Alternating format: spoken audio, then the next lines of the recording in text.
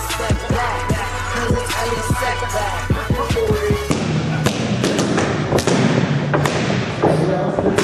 This is the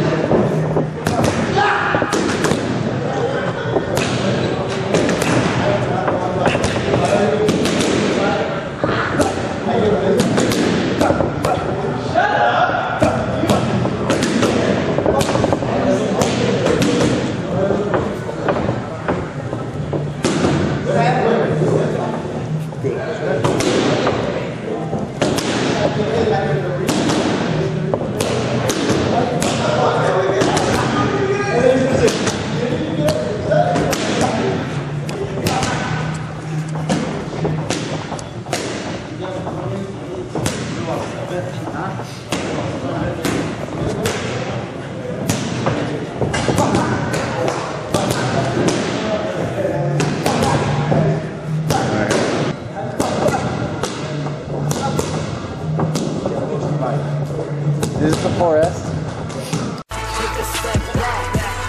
Ellie setback.